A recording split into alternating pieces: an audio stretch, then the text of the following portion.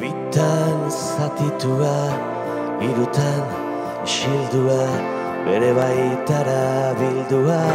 Bitan zatitua, irutan xildua, bere baitara erantzi.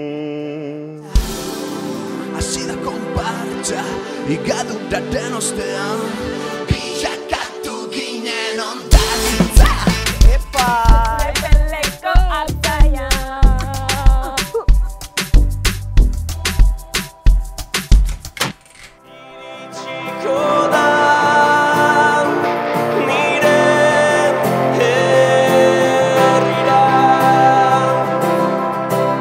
Altxa, sinatu eta egin dezagun guztiok elkarrekin buru jabetzako prozesu hau.